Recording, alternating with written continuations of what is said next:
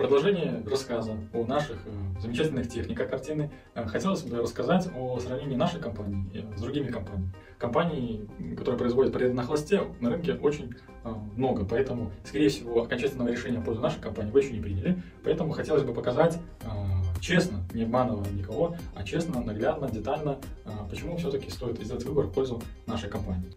Мы нашли компанию, которая занимается так же, как и мы, портретами на хвосте и отправили э, фотографии наших клиентов, которые к нам обратились, для которых мы сделали такой шикарный портрет, он нам просто всем очень нравится. А, эти же фотографии мы отправили в компанию, которую нашли в интернете. Мы не искали специально самую а, плохую компанию, самую ужасную, а, по самой низкой стоимости. Первое, с чего хотелось бы начать, это художественная работа. Я надеюсь, наглядно, очень хорошо видно, насколько кардинально она отличается, скажем, работа художников нашей компании и работа другой компании. Переходим ко второму критерию качественной картины. Это печать. На каком принтере был, был распечатан портрет.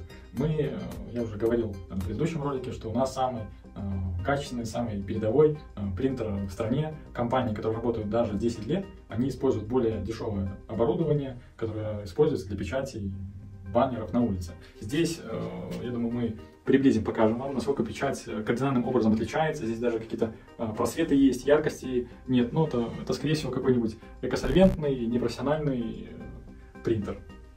Далее переходим к третьему критерию хорошей качественной картины.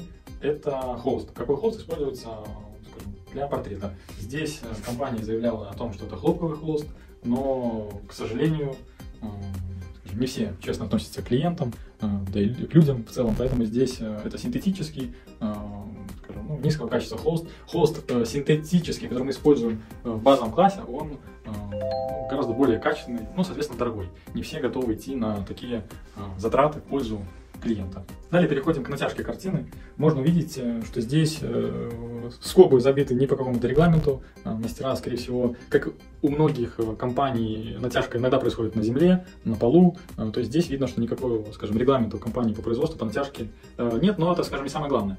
И э, здесь мы только что сами заметили, что крепление на этой картине, картине отсутствует. У нас по умолчанию э, ко всем картинам идет крепление, на, более, на, на больший размер идет другое крепление, на маленькие картины идет другое крепление, то есть все регламентировано. У меня сейчас в руках э, наша картина масла, написанная клиенту, которую скоро должны забрать. И здесь хотелось бы показать э, нашу натяжку, которая, к счастью, регламентирована стандартом нашего предприятия, поэтому Э, скажем, каждая картина, будто базовая, э, стандарт или премиум, натягивается в соответствии с регламентом. И вот так это все выглядит аккуратно на нашем, скажем, доработанном, усовершенствованном подрамнике. И крепление для того, чтобы можно было повесить. Картина она достаточно тяжелая, так как она с багетом идет. Далее переходим самому подрамнику. Здесь подрамник мы можем, можем увидеть, что он просто сбит степлером. Но основная проблема даже не в, не в том, что он, скажем, Э, не по модульной системе шип в паз собран, а проблема в том, что здесь холст провисает, Здесь еще такой проблемы не видно, ну, хоть оно и не сильно натянуто. Но здесь у холста отсутствует э, система натяжки. То есть, будь через 5 лет, через 10 лет холст провиснет, и, э, скажем, возможности натянуть его нет. Конечно же, это более дешевый вариант сборки э, подрамников, но, скажем, это никуда не годится. Очень хочется рассказать о качестве наших подрамников.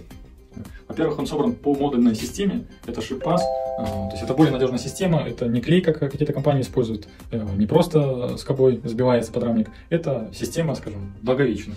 И что самое важное, здесь у нас есть клиния, которую мы тоже дорабатывали не один год и пришли, скажем, к универсальному варианту. Э, что дает клиния? Если э, холст начнет провисать, всегда можно легкой рукой, всегда можно его подбить, и картина опять обретет натянутое состояние. То есть это две компании, которые работают 10 лет на рынке, у них такой возможности нет. Мы на рынке работаем, трудимся полтора года, но я думаю, здесь понятно, в чем проблема. То есть компания, которая работает 10 лет, у них также простой подрамник, э, легкий в сборе, без возможности натяжки. Ну и вот здесь абсолютно ужасная натяжка. Это штопание просто степлером, без должной натяжки, но такое вот отношение к работе. Как руководитель компании я лично гарантирую качество каждой картины. И хочу сказать спасибо, что досмотрели данное видео до конца.